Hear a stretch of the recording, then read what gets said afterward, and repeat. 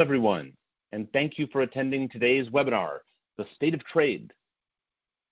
Hello, everyone. Thank you for attending today's webinar, The State of Trade, Revisiting 301 Tariffs, What's in Store for U.S.-China Trade Relations. Before we begin, a few procedural points. At the end of the session, time permitting, we'll hold a question and answer um, period. And you can ask your questions through a function called Slido. We'll drop a link in the chat and you can ask you know, questions there. Um, those questions will only be visible to you and to the Flexport team, so you don't have to be shy. Um, we will share a copy of the slide deck at the end of the presentation. Um, now, to make the lawyers happy, a brief legal note. Please do keep in mind that all information provided in this session is based on the situation at this current time and may not be customized to your specific business requirements. None of us are lawyers, and we always recommend reaching out to a Flexport, Flexport expert to discuss your particular situation. All right, now let's get down to it. I am Phil Levy. I am Chief Economist at Flexport. I am joined by Chris Rogers in London, our Principal Supply Chain Economist. Um, good morning or good afternoon, Chris. Hi there. And I am thrilled to welcome Chad Bown, the, the Reginald Jones Senior Fellow at the Peterson Institute for International Economics. Chad and I go way back. He has an extraordinary list of accomplishments. He was Senior Economist for Trade at the Council of Economic Advisors. He has worked at the World Bank. He has taught at Brandeis. He's been at the heart of efforts to gather critical trade policy data on topics such as anti-dumping, and he has led efforts to analyze the functioning of the WTO dispute settlement system, um, to name just a couple of his important areas of work. He's also been a clear and prolific commentator on trade policy development, serving as the host of the excellent podcast, Trade Talks. How many underscores does that have, Chad? Two, two, he says. Okay, news to me. All right, I listen all the time. Um, so, so trade talks, and you ought to as well. But we're delighted to have him here with us. So, Chad, welcome. It's great to have you. Thanks, Phil. All right. So today we're going to discuss the Section 301 tariffs the U.S. imposed on China. They've been in place for four years, so we are statutorily required to review them. No, actually, I'm just kidding. We're not statutorily required to do anything. The Biden administration is, is, statutorily required to do this, which we thought would make a very nice news peg to see what will they do, what should they do, um, and what will come next after that. So that's why we're turning to this now. Um, what we're going to do is we're going to start with a recap of how we ended up with tariffs on hundreds of billions of dollars of imports from China to the U.S. Um, we're going to ask what effect those tariffs have had um, and look at that from a number of different angles. We're going to talk about what the Biden administration is likely to do in the near term, both with the review and potentially with negotiations that follow. And then we'll turn to what we see happening economically in the US China relation, trade relationship uh, in the longer run. Uh, as is our want, however, we will start by seeing what you all are thinking on the topic. So we're going to do a poll. Um, and here is our first poll question. You can see the, the polls on the tab over on the right. So the question to you all, has the Biden administration stance toward China, and we're talking about uh, trade matters here, been tougher than you expected, just what you expected, less tough than you expected, or I don't know, I haven't really paid attention so far. Um, actually, some of you have actually confessed to that. Okay, um, so let's see what you all say. Um, what what and this is really sort of setting the stage on the expectations and we're going to go and see where we're coming from. It looks like um, we're oh it's sort of neck and neck. Thank you for those who are answering. This is kind of exciting to watch in, in real time as these things bounce around. But um, it looks like you all weren't terribly surprised by what the Biden administration did but those who were it came off a little less tough. So um, but actually an interesting spread here um, for this. So well, cool. We'll see. We'll, we'll talk it through and see what has happened and where they seem to be going. Um, but I think the, so far the winner looks to be that it's been pretty much what you expected. All right, let's jump right in then and let's talk about you know what led up to the Biden administration. Where do we come from, and what was going on with all of this? And thank you again, everyone, for for voting on that. All right, let's let's jump into our slides. Um, how did we get here? Um, the so the let me say right up front, this slide pains me a little bit. Um, I find it, it, it, difficult because it's showing trade deficit, merchandise trade deficit, and in fact, it's showing bilateral trade deficits. And I've spent years, and I'm hardly alone in this, is sort of standard boilerplate for economists, preaching that economically this is not what matters. There's a huge temptation to look at trade deficits and to take them as a scorecard for how well or how poorly a country is doing. Um, we could spend an entire session talking about why that's not a good thing to do. Uh, uh, and Chad, you have your favorite answer as to why, which you can toss in later. I, I would the, the answer I like to give is that if you look at the things we care about, what, what do we really think of as economic well-being? It's when is the economy booming? When is unemployment low? We usually see tr- high trade deficits in those times. And when we go into a real slump, you often see the trade deficit moderate. And that's talking about the overall trade deficit, not even bilateral. So, Chad, first, maybe you have an even better explanation or a better explanation um, as to that. But I also wanted to get you to say something that, and hopefully justify us putting this up in terms of what role did, and here we're showing a longer view of trade deficits, this is going back to the George W. Bush administration. What role did this play in the sort of politics of China trade policy in terms of driving some of the action that we saw in the Trump administration?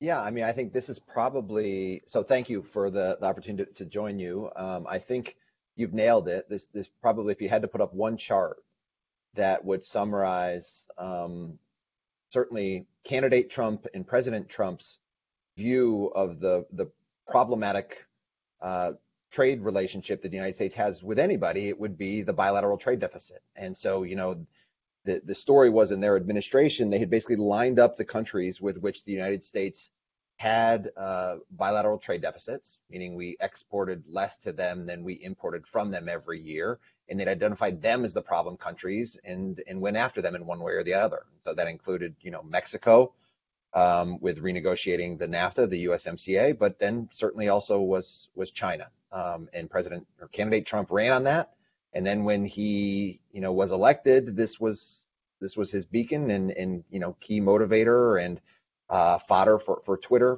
you know, through the entire administration. So I think this is exactly politically the perfect chart to show. Well, thank you for that. Um, and, and it's now, should we let we get your stance? You know, economically, does this work as a metric um, and I talked a little bit overall deficits. You can take that, or you can take the bilateral ones that we're showing here. No, I mean I agree with you. It's it's a it's the bilateral trade deficit is essentially a useless metric. Um, you know, for for a number of different reasons. One of which is with so much trade now not being in final goods that you know we need to we would need to adjust this if we even really wanted to understand from the U.S.'s perspective how much of what we're trading with China uh, on the import and export side is really American or Chinese value added, as opposed to say, you know, Japanese content or Korean content embedded in final goods that we're buying from China or American content even. Um, you would you would need to adjust for those kinds of things as well. Uh, and then you know the bilateral imbalances frequently reflect underlying really solid economic reasons, um, you know, that are just based on things like comparative advantage. There's there's no good economic theory why trade should necessarily be balanced between any two countries out there in the world. And so while it's a it's it's nice for politics, economically it's it's very much a, a meaningless statistic.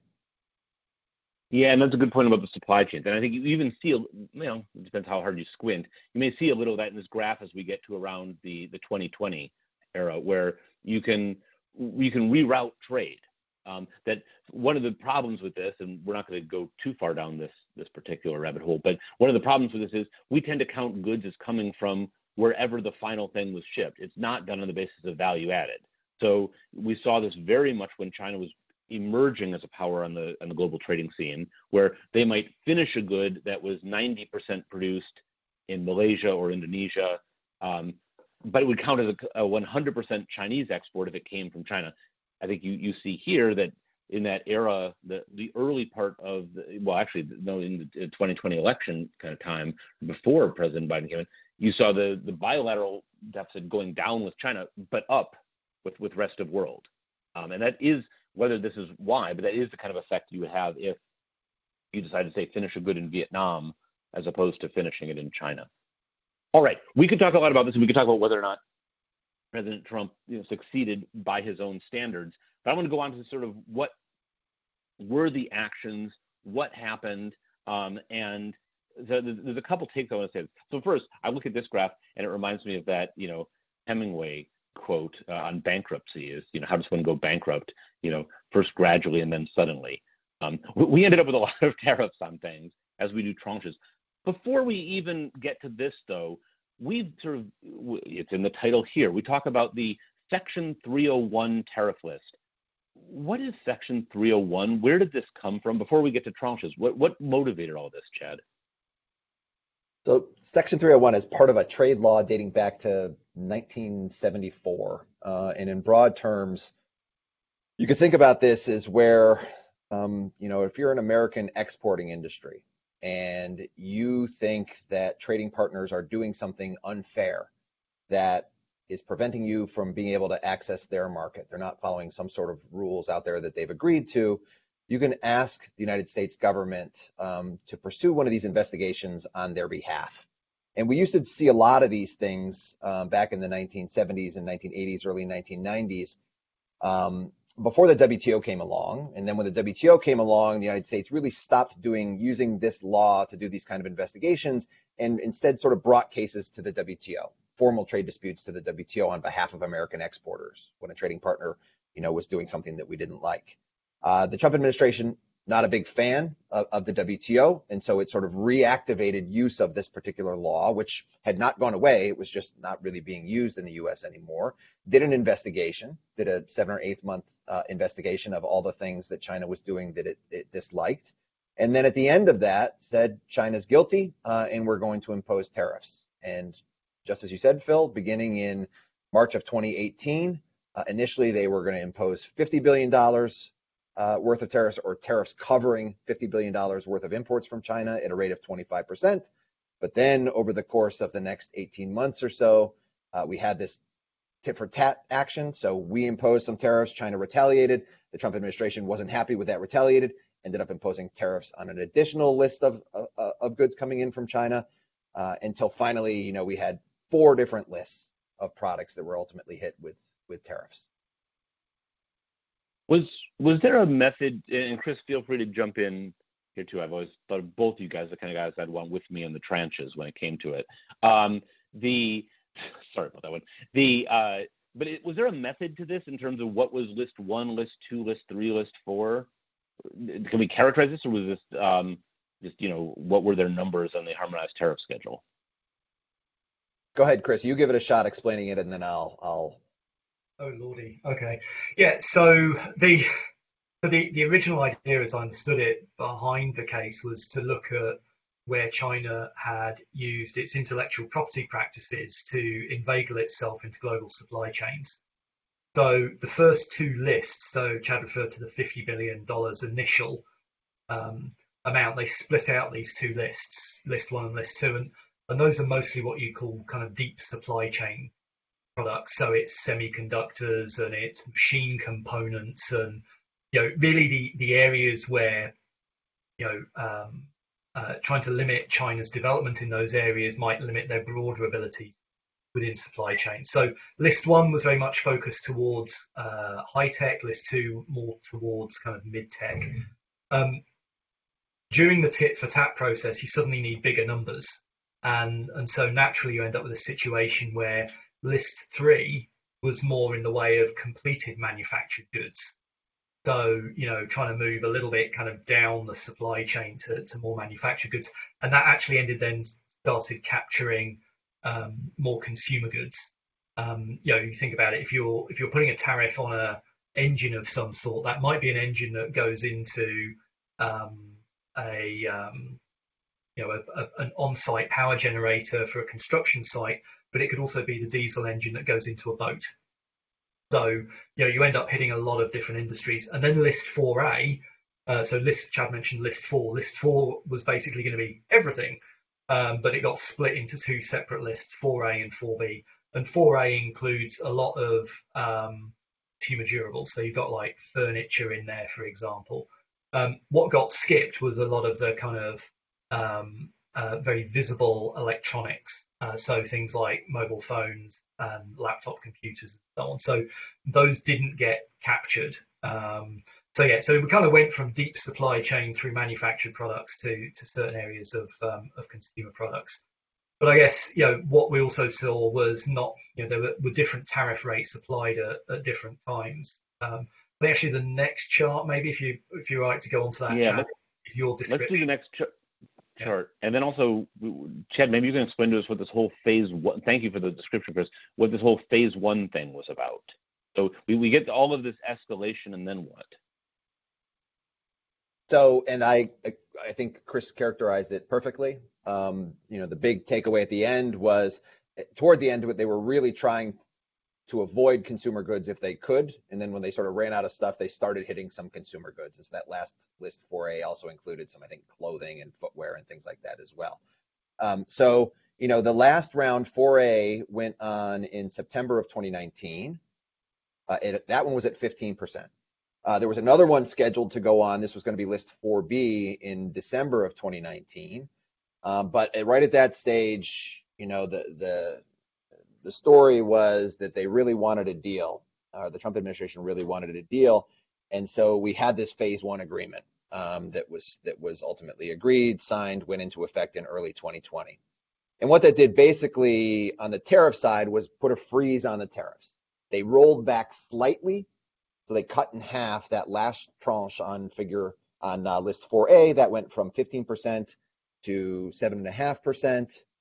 Um, and then there was this phase one agreement. You know, there was a little bit of China agreeing to do some things on their end, some better improvements to intellectual property rights protection, uh, opening up their financial services market to uh, to, to, to Wall Street, um, getting rid of some technical barriers to trade for agricultural products, things like that, uh, and then agreeing essentially to you know buy an additional $200 billion worth of American exports over the next two years. So that was going to be essentially the, the phase one agreement that you've seen represented here.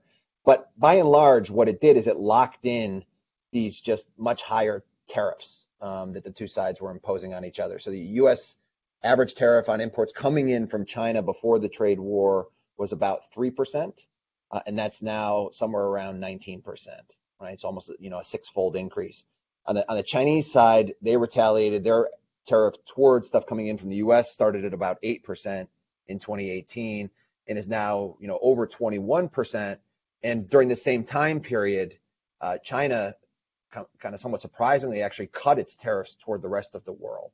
Uh, and so its tariffs, you know, toward the rest of the world went from something like 8% to now, you know, about 6.5% or so um, during that time period do we just well i'm going to hold this question because I, am going to get all excited and we'll do this, we're going to get to this in the next round. Um, let me let me just sort of tie up one thing here which is normally when something calls someone calls something a phase one agreement it's kind of suggestive that there will be another phase to follow. What happened there? Well and and that's right. And i think even I forget the exact language, but you know, when this was announced, President Trump even said, you know, we're going to get started on phase two right away. Whereas I think um, his trade negotiators really didn't want that to be the case. Uh, you know, they'd been going at it um, with, with, China pretty heavily for over a year at that point, with with very little progress. And then early in 2020, we're now in election season in the United States, and then you had the pandemic hit. Uh, and so ultimately, there there was no phase two. There hasn't been a phase two. The Biden administration won the election in November 2020, and you know they essentially have not engaged. We won't get into this too much, but but with China on these things at all. So it was basically phase one, one and done. And, and phase, correct me if I'm wrong here. Phase one was sort of much more explicitly market access, some of the traditional things, but they had said that a lot of their target was sort of more serious, re- deep-seated reform of Chinese practices a whole range, certainly intellectual property, but it was not just limited to intellectual property. And that was supposed to really be the subject of phase two when you would go to sort of the deeper structural change. Is that fair? Uh, that's exactly right. You know, the, the deeper structural change has to do with things like subsidies, uh, China's state-owned enterprises, uh, the myriad form of subsidies that you know take place within the Chinese economy that aren't necessarily direct payments from the government to a firm, but can you know, de facto be subsidies through a combination of other types of policies when you when you put them all together. you know that's the big underlying challenge. Uh, it was not addressed really at all in in phase one, um, and so there's still a lot of work to be done in trying to figure out how to get the the you know the U.S. economy comfortable with the the nature of the Chinese economy. We're not there yet. We're not talking about it uh, yet either. Um, and there really at the moment also doesn't seem to be much progress in, in even heading in that direction. Yeah. If if we can, one last topic, and Chris, I'm going to ask you to guide us through this one. Um, one last topic before we go on to our next poll, which is not everyone necessarily had to face these tariffs, even if you were in the sector. Um, there were exclusions. I think that's uh, what the, our next slide covers. Um, what were what were exclusions all about, and how did that work? Yeah, sure. So the the exclusions were there to try and protect American business. American manufacturers. The the argument is okay, we're going to put a tariff on imports from China, um, but if you can't buy it from anywhere other than China, we don't want you to US. So you can make an application to the USTR, who will consider uh, whether you should be granted some clemency um, and and not have to uh, and not have to pay the the tariff. You know, just for the avoidance of doubt, it's the importer that pays the tariff like cash out the door. So there was a, a lot of demand for these things. Um, this chart, um, as Phil and any, of our readers know, I like a complicated chart, so I'll talk you through this one very quickly. Um, the left-hand bar is basically uh, the share of imports uh, from each of the lists. So black is list one, dark grey list two, and so on.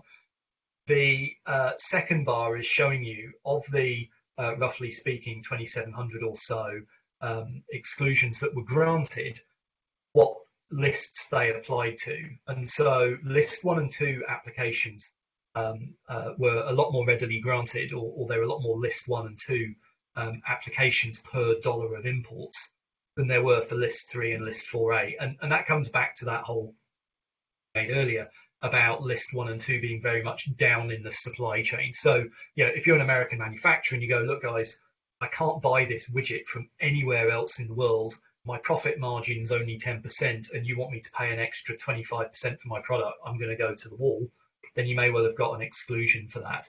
Uh, so about, um, sorry, 2,300 exclusions uh, were made. Now, those were fixed time deals. Um, so you only got your exclusion for a certain amount of time. A whole bunch of them were renewed, but not all of them. And, and that's what the, uh, the right hand two bars are showing. So some of them were renewed, about 24% of them were, were renewed and then another tranche were extended again. So that's been extended more more recently. Um, but only around 19% therefore of those exclusions actually got extended for, for any period of time. Uh, we're going to talk about what the Biden administration are doing later on, but there was um, a more recent extension um, of around 350 products. Um, and then on top of that, uh, you've got 80 products that got um, exemptions because of uh, their use in the fight against um, COVID 19. So the exclusion process was horribly complicated and remains horribly complicated. You know, I, am delighted to say our colleagues in our customs team at Flexport are all over this and know a lot more about it than I do and have got the tools to kind of deal with this as and when we see what the, the Biden administration want to do um, going forward. In terms of what made for successful ex, uh, exclusion as well, um, that was far from simple. So partly showing you know the, the government you know I really really depend on this product um, but also the the style and the way that the exclusion request went in you know detail focus and, and frankly frankly put some lobbying helped um, as well and there's plenty of press stories about companies who were successful there so exclusions you know they're still out there um, and you know there are an issue that the administration's got to address Phil, can okay, I just jump great. in with so, one, thing on the exclusion? Yeah, of course you can. Um, so I mean, just to see, in none of your your any nobody watching this will be surprised at this, but you know, the, the kind of the worst story with the exclusions came really early on with the pandemic. So in list 4A, um, it turns out there's a bunch of PPE. So you know, N95 respirators, I think maybe the protective garments, things like that. Uh, we're sitting under these trade war tariffs. The pandemic hits uh, we're all seeing these stories about how hospital workers are having to wear garbage bags and you know can't get PPE to, to go into the hospital to, to save lives. And it took until the middle of March for the administration to um, grant exclusions essentially for some of these pieces of PPE. And that's you know part of it is they were reticent, they didn't want to change this stuff. Part of it is these these products are buried into you know tariff codes where it's not obvious what they are. They're they're in you know other plastics or you know other things of of uh, of textiles, things like that. Um, but those, as Chris mentioned, have been the ones that have tended to be extended multiple times throughout the pandemic. And these are important since you know uh, we didn't we didn't have supply chains that made a lot of this stuff in the United States when the pandemic hit, and China really was the world's you know residual exporter supplier of a lot of these these particular pieces of, of PPEs. You know, 60 to 70 percent of, of world exports of this stuff. So arguably, the, the tariffs mattered. No, that's a good point, and I mean, I think we can say generally it, it sometimes is uh, is forgotten, but we're importing this stuff because somebody wanted it. Either that you know this was the best thing they could find to consume, that you know this was the most affordable thing they could get for their kids, or if you're a business, these were you know the best parts that you could get but you sort of see that very acutely when we have a, a health crisis, and it, it, becomes these are the kind of things that can sort of seriously affect the delivery of, of medical care. Um, but a reminder that we sort of do these trade flows for a reason. Okay, let me recap on where we've um, where we're coming from, which is we had the Section 301 case, kind of reviving a process that had been popular earlier, had sort of fallen by the wayside and was picked up by the Trump administration. You had rapidly escalating tariffs as you had sort of a tit for tat, and we and we went back and forth on this. You these were tempered somewhat by a sort of clunky, awkward exclusion process that had some carve outs, and the whole thing kind of culminated in a phase one agreement, which for with a tiny bit of moderation basically locked in a bunch of tariffs. So that's how we got to where we are, I think, as a general thing. We want to talk about next what did all this mean? What what were the effects of this? Before we do, we want to ask your impression of what the effects were of all of this. So, um, poll time, people, get your get your fingers ready. Um, what has been the principal impact of the Section 301 tariffs? Was it a retooling of supply chains? Was it that it changed China's economic policy behaviors? Was it that it imposed costs on American consumers and businesses? Was it that it achieved American foreign policy goals? Um, or none of the above. Our imagination is just not rich enough.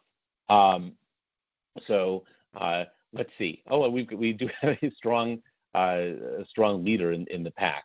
Um, all right, we're this is I don't know whether I can quite say I've seen enough, but uh, it, looks like we're we're leaning very heavily on in, imposed costs on American consumers and businesses, um, with uh, retooling of supply chains coming in a, a, a distant second. So, um, and uh, very few thinking that it achieved foreign policy goals or that it actually had an awful lot of effect on China's China's economic policy behaviors. Okay, normally I would say, you know, Chris and Chad, tell me what you would have voted, but I'm going to hold off on that for a second because what I want us to do is take uh, we will come back. I, am going to try to remember to make them do that. But let's move forward and thank you for everyone who voted. Very much appreciate it.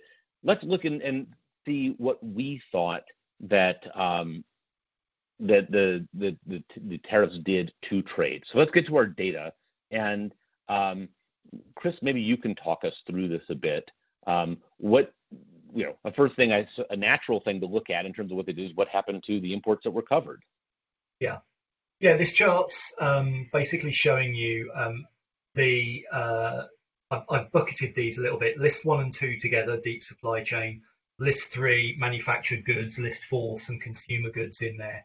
Um, the 100 level is basically the average for 2017, so the pre uh, tariff period, and we've annotated when the, the, the tariffs were put in place. And basically, we can see that kind of point to point, um, we we saw an initial kind of run up just before each set of tariffs comes in, so a little bit of stockpiling of the tariffs. Then you get a big drop off um, and then obviously we've got this trough um, in early 2020, which was the, the pandemic, which, as Chad mentioned, kind of coincided with the, the phase one deal coming in. Then we have a recovery. Obviously, there's been strength in demand in some of these products, particularly list 4A, which has got those consumer goods in. But point to point, roughly speaking, for all three of these clusters, we're now at around 80 to 90. So effectively, what that's telling us, imports of these products have fallen in dollar terms by about 10% to 20% from the pre-tariff level, and, and, and that's kind of where we are at the moment that, that's a, a, kind of a, a marked uh, drop down.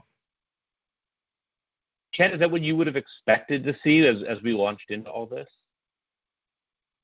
Yeah, uh, I think I'm, and I it just eyeball econometrics there. It looks like the the black line, which is list 4A, and that one, you know, only has right now a, a 7.5% tariff on it, whereas the the red line and, and green line have the 25% tariffs. So that the fact that that one is slightly above that, I think, um, is sort of reflective of economics as well. Bigger, bigger economic impact certainly on the ones that were hit earlier and, the, and that are facing the the bigger tariffs. I think that basically lines up with what I would have expected as well.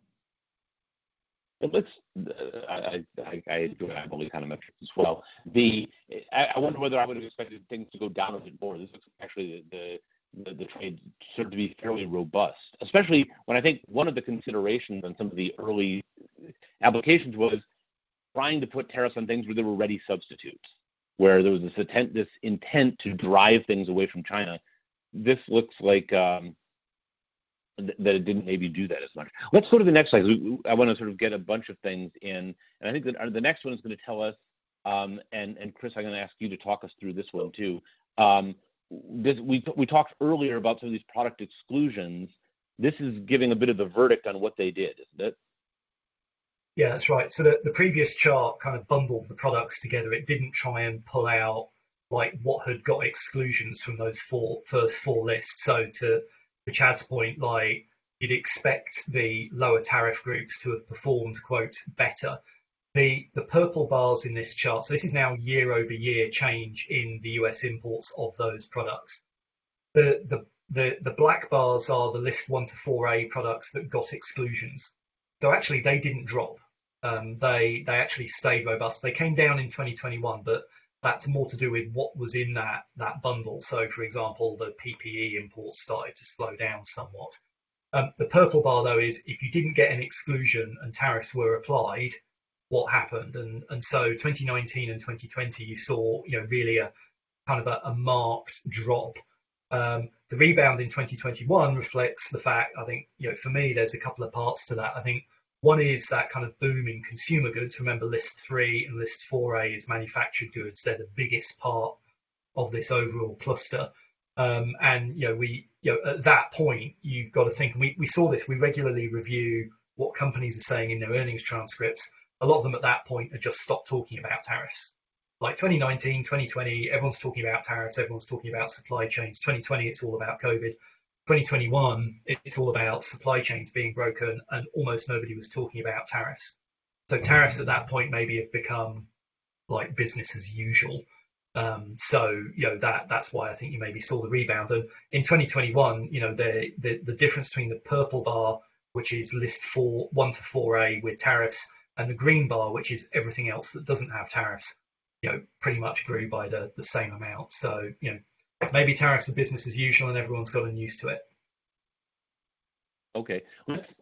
So, so that's where we got with, with exclusions. Let's go to the next slide because I want to blow some of this data and then we'll get to a sort of a broad-based discussion of this. Yep. One of our answers that we offered people on the poll was retooling of supply chains. There's a version of that which is reshoring rather than onshoring. Um, Chris, how are you interpreting this evidence?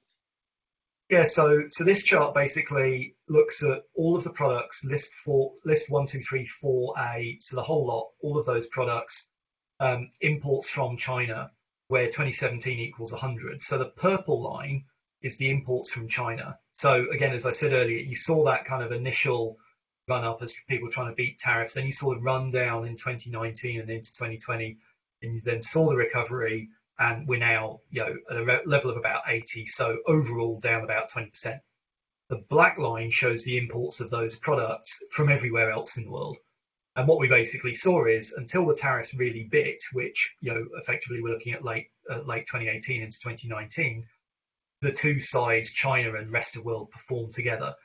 But since then, we've seen um, the imports from the rest of the world really kind of drive upwards. And in fact, the imports from the rest of the world of kind of list one to 4A products are now somewhat over 40% higher than they were back in 2017.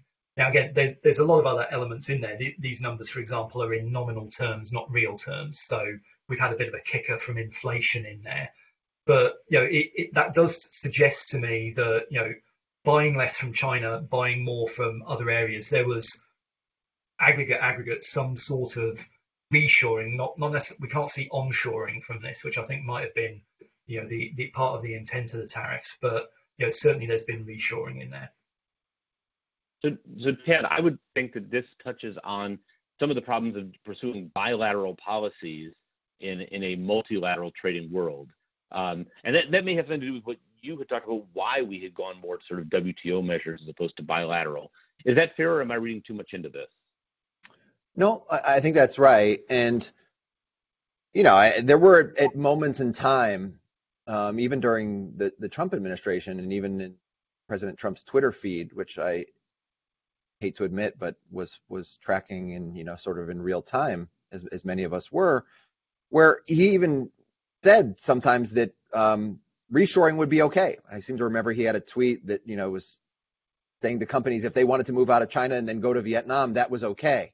Now it was it was that was not always consistent with the administration's other policies because you know they sometimes went after some of these other countries, which made you wonder um, did they really mean it or not? Or once they were done with China, you know, ha- if there had been a second term, were they going to go after other countries? Well, um, but, but I think that's right. I think the other thing that I would add, and I know this will we'll we'll get into this more in a moment, but uh, going back to kind of the poll question of, you know, w- what do we expect to see happen? I think we're not surprised to see most of the initial economic effect um, being on the consumers and American businesses, you know, sort of bearing the burden. If the changing of supply chains was going to happen, it was probably always going to take time because you did want to see, you know, is was the Trump administration serious about this? Were they going to keep these tariffs on? Right? We didn't know. They were they were, they were doing very very new things. And so, you know, it could have been that these tariffs were going to go on, and then maybe they, they could have come off. In which case, you didn't want to, you know, move your entire supply chain. And then when the Biden administration was elected, you or you know you kind of waited to want wanted to wait to see what was their long-term strategy going to be with China as well. Were they going to get rid of all of President Trump's tariffs? Um, and and if so, well, maybe you didn't need, need to move your supply chains after all. So I think some of the supply chain questions are obviously deeper questions, make bigger investment decisions. We're always going to, you know, take longer to play out, and it, so it may just be that that's now what we're starting to see.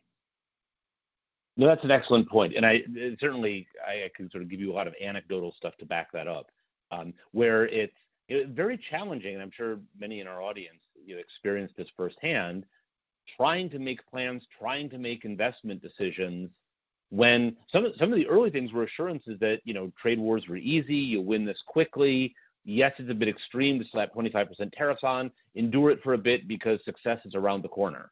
Um, I think our next slide will help us decide how much that was true. Um, but but it, no, but it's a very difficult time, and often the choice that someone makes is, you know, they were sourcing from China because clearly they had decided that was the best value for money for where they could source. So do you go to your next best option? Do you take on additional costs?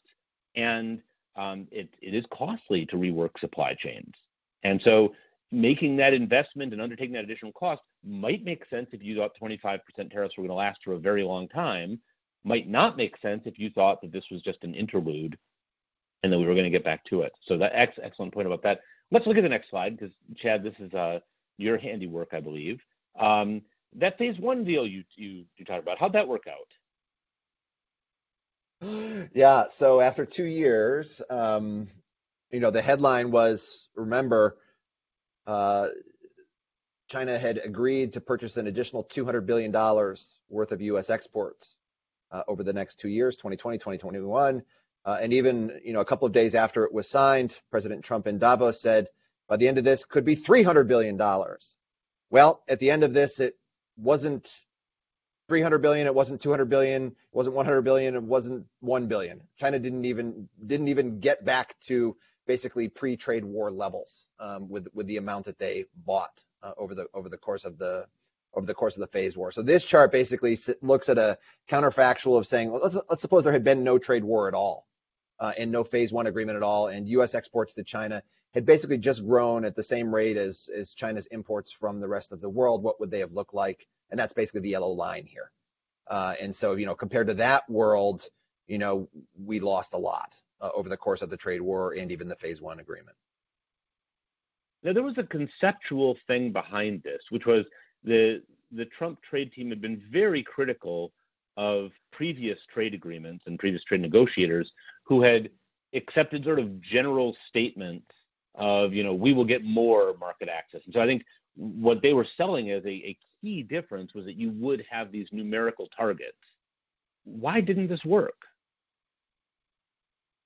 Yeah, and so um, I mean, it definitely was a combination of factors. You know, I think we do have to acknowledge the fact that the pandemic hit and um, you know demand for certain products um, may have dried up even though china's imports recovered faster than most in, in 2020 they were certainly lower because of the kind of the initial recessionary phase of the of the pandemic than they would have been otherwise um, but you know some of the answer to that was had nothing really to do with the pandemic it was that china was not going to resume buying certain products um, you know, despite that. So some examples that that obviously came up were things like the automobile sector uh, that was caught up in the trade war. The U.S. imposed tariffs on parts coming in from China. China retaliated by imposing 25% tariffs on finished cars. That made certain automakers assembling vehicles in the United States destined for export to the Chinese market actually made them reconfigure their supply chains and say, you know what, if we're producing for China, we're going to do it somewhere else. So Tesla, for example, accelerated you know the the the, the production of their uh, plant in in thing in Shanghai, I think it was. BMW, I think, moved uh, some of their exports for China um, somewhere else as well. And you know, once you've done that, you don't move them back. You know, even with this this phase one agreement. So you know, autos never came back. Um, the things that China did buy a lot more of during the phase one agreement, agriculture, um, you know, they got back to 2017 levels and even them exceeded them a little bit, but they really never, you know, sort of met the aspirational targets, these numerical targets that the administration had aimed for. Yeah. Okay. Well, that's an interesting point, but it was it certainly sounded appealing. I think at a, at a sort of you know prima facie that okay, we just you want more, set a number. Um, so very interesting and useful to have that track, and particularly to show what one would have had otherwise. Let's go on to the next slide, and I want to take up one topic which is sort of an unusual one that has entered into this. Um, that uh, let's let's talk about inflation for a moment. Clearly, a big topic of the day. We've got a Fed meeting coming up that's addressing all these things. Um, we normally think about inflation as a monetary policy uh, outcome. That you know you have you know too too much money t- chasing too few goods, and and you get inflation. Um, of course, that hasn't been everybody's theory of what's going on here. People have talked about, you know, one-offs and interruptions and the like. And there have been suggestions emanating from the very distinguished uh, Peterson Institute that, uh, you know, one of the biggest measures that the Biden administration could take to to address inflation would be to cut China tariffs. So I guess um, let me break this down into two parts. Uh, well, one, you know, where, what is your stance on cutting the China tariffs, just sort of as a policy measure? But is it reasonable to sort of link that, or, or what are some of your? And this wasn't you who wrote this paper, but you know, what are some of your colleagues' reasoning for why there might be a linkage to inflation there? Um, so thanks for the, the question and the, and the plug um, to my colleague's work. And so I'd invite anyone who's interested to go and read it because I'll probably mischaracterize certain elements of it. Um, you know, certainly there are links between tariffs and higher prices. You know, one of which you can think of is allowing for more imports uh, allows more competition, you know, um, to take place and puts pressure on companies so that they can't raise prices because now they, they face competition from abroad as well. And you know, when things are shut out because of really high tariffs, um, that may make it make it more difficult. Um, the the piece that they my colleagues wrote in, addressed not only the China tariffs, but looked at, you know, sort of a, all of the tariffs that one might feasibly move. um, you know, or the administration could plausibly move. I, I think, um, you know, it, it, was highly unlikely that the administration was going to do much on the China tariffs in particular, not necessarily for economic reasons, um, but certainly here in Washington, uh, China, U.S. China relations have really soured, and there would be really large political costs to any administration doing anything that would be viewed politically as being weak on China. And whether or not it's good economic policy, um, removing tariffs is going to be seen as, as somehow being weak on China and giving up leverage. So I was not optimistic that it would happen. Um, why might the effects be relatively small or take a while to wind through on, on the inflation front? Well, for one, you know, the most um, impactful sorts of products, the, the final consumer goods, as, as, as Chris already indicated, are the ones that are only sitting under a seven and a half percent tariff at the moment. And you know, so cutting from seven and a half to zero as opposed from 25% to zero, um, you know, is is sort of a smaller impact. The ones that are on 25% are intermediate inputs, parts, components, equipment, things that go that are going to take time to work their way through, you know, the supply chain, probably to end up uh, actually bringing down inflation in in terms of final consumer goods. So the options there for the administration, I think, are not, you know, great in terms of thinking that you can do a lot um, when it comes to actually uh, achieving much on inflation through the tariff channel. And I think finally, just to conclude, the biggest impact on inflation is monetary policy and the Fed, uh, just in general. Tariffs, we don't think of, there's lots of good reasons to dislike tariffs and to want to get rid of them. They impose harmful costs on the society, on society, on businesses. They create sorts of supply chain disruptions, but they're not generally the first order tool that you would want to be out there using um, to try to tackle this, the really big problem today, which is inflation. Okay, cool. Thank you on that. Um, all right, let's. I want to wrap this up so we can talk about what we promised to. Actually, what you just sort of linked us to, which is what else the Biden administration might do, and whether it's setting inflation aside, what they might do for trade policy purposes. Before we do, I want to go around with all of us and you know subject us to the same question we subjected uh, our, our audience. Chad, you can start, then Chris, I'll come to you next if you were to just quickly say what you see as the principal impact of the Section 301 tariffs, I won't even necessarily limit you, you're a guest, um, to the, the multiple choice, but what would your pithy take be on the principal impact of those tariffs? Well, I, I, I do think that, you know, short run, it was costs to uh, American businesses and primarily, you know, higher input costs, uh, ultimately feeding through toward you know end consumers. But if that's taken place, it really did take time. And the initial economic evidence was it was primarily the the importers and the businesses that were bearing the burden. Um, over time, you know, now that we're seeing that the, the Biden administration really isn't sending any signals that there's going to be a reversal of of of the tariff policy, and in other respects may get worse, we may see eventually um, some of these supply chains moving. Again, it's not companies looking to get out of China. 1.4 billion people there. There's a lot of consumers. You want to be there to be able to service the Chinese market, but that may not be a viable, a viable place anymore to be doing business if ultimately part of that business, what you want to have it be doing, is to be able to service the, the U.S. market as well. Okay, thank you. Chris, where are you on this? For how, yeah. how would you answer our poll question, even if there was a write-in option?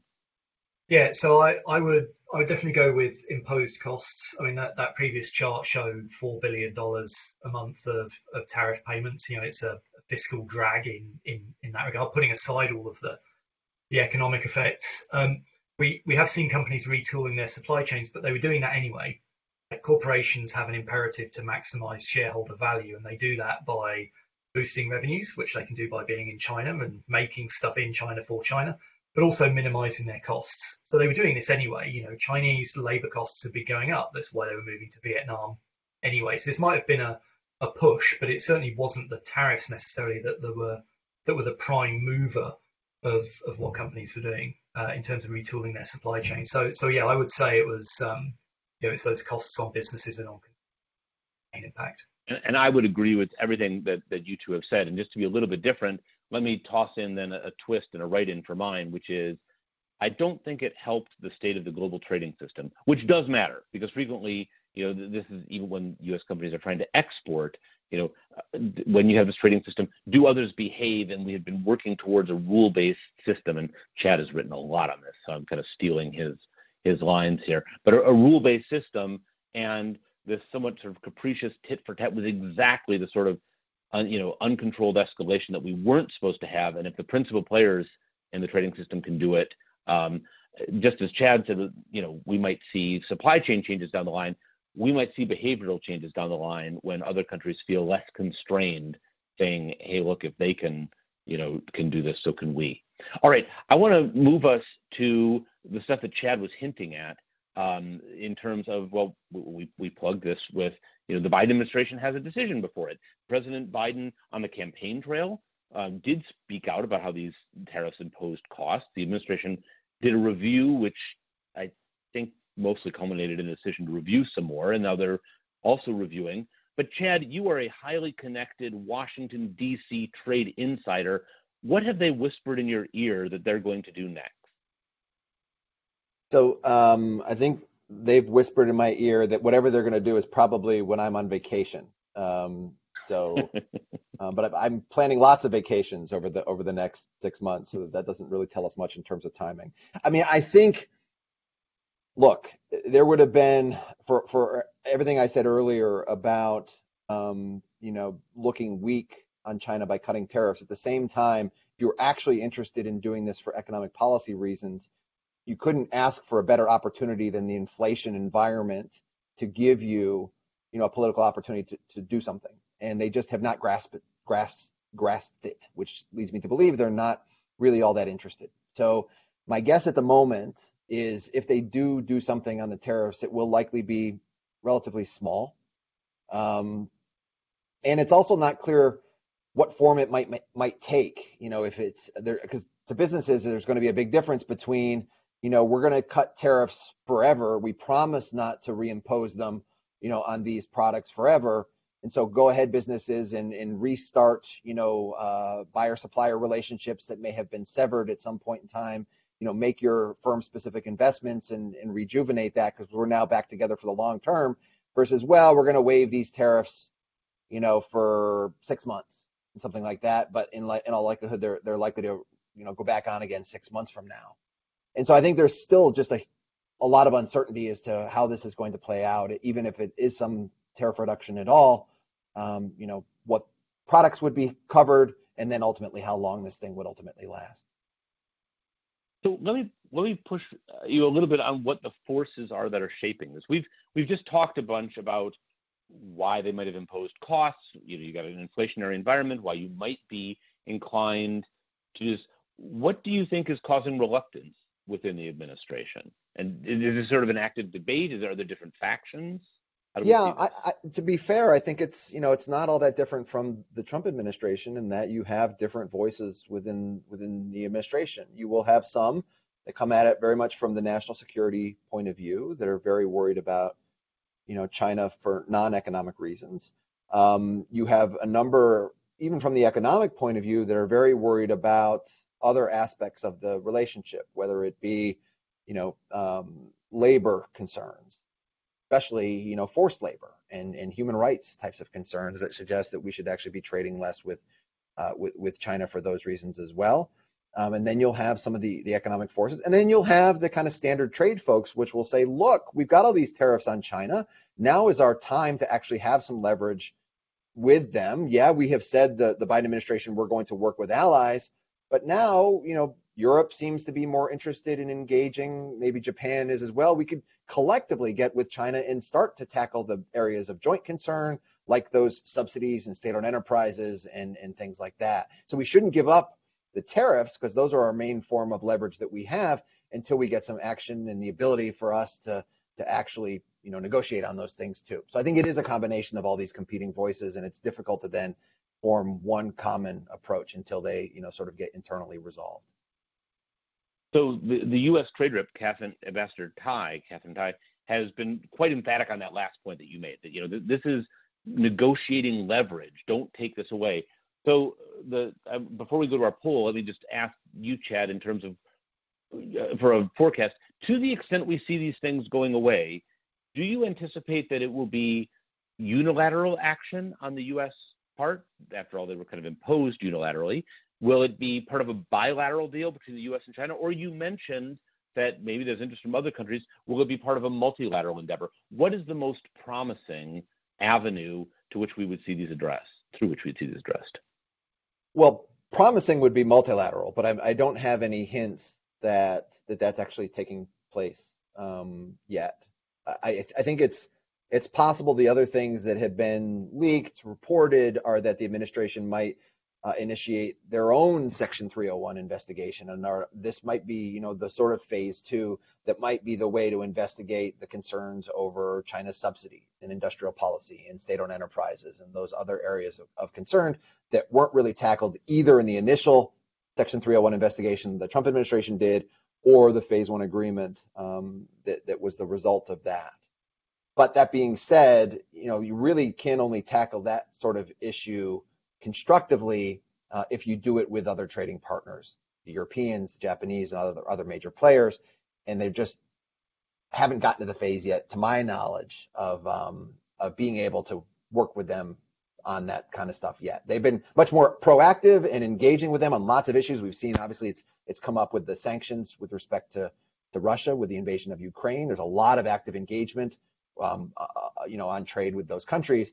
But I'm not sure yet that they're actively you know, working on the details of what do we need to do collectively, jointly to deal with concerns over, say, Chinese subsidies. So you're, if, if I'm hearing you correctly, you're what should happen is that we should have a multilateral discussion to address this. Your what will happen is we're just not going to see an awful lot of movement. That maybe sort of limited tariff withdrawal, so. Chris, is that what you would sign on to? I think so. I, I would actually also say that Section 301 and tariffs are only a small slice of US China relations more broadly. So, you know, the, the, the, conversation between President Biden and President Xi, which I think is due to happen in the next few days, maybe possibly, depending on calendars and so on, is going to touch on, you know, Chad mentioned the, the uh, conflict in Ukraine. It's going to touch on security issues um, in the South China Sea. Um, it's going to touch on labor practices and all of those kind of things. So, you know, I guess it, the tariffs provide leverage, but there's a lot of stuff that needs to be moved around. Yeah, fair point. All right, before we close, we're running short on time. I want to go back to the audience for, for another poll to sort of ask whether you leave this optimistic, pessimistic, um, or uh, I don't I doubt indifferent. But when do you think that the majority of the Section 301 duties will be removed? And the, this is really sort of in order of timing. Um, before the end of 2022, during the first quarter of next year, of 2023, sometime between the second quarter and the end of 2024, during the next presidential administration, or never. They're here to stay. Um, and it looks to me like we've depressed you all. Well, at least you got something you can plan on.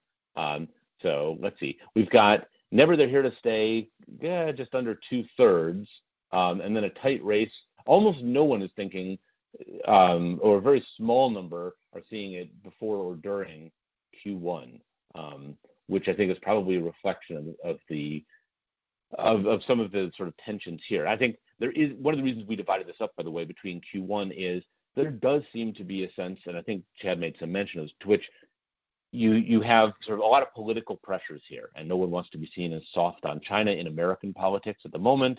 And so the closer one is to election, the the more difficult it is to sort of make a, a big move on on on this. So I think that's where we're seeing uh, well, like about roughly 90% weight, which is that it's coming later. But that would be the thing about the Q2 23 and the end of 2024, is this does put you in the sort of traditional times we're getting either close to or in the midst of a presidential election.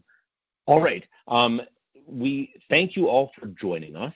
Um, unfortunately, we are now out of time, not out of interesting things to talk about. But I want to thank Chris for his insights and Chad in particular. Let me underscore uh, what a pleasure it's been to have you with us. Yes, that's a plug. Go listen to the trade underscore underscore talks podcast. It's great. Um, do so regularly. Um, thank all of you out there for attending today's session. We will email out the slides and we'll link to this recording tomorrow morning. Um, we're also dropping a short feedback survey into the chat. Please take a moment to share your thoughts and your feedback with the team so we can continue to curate great content for you. So thank you again and have a great day.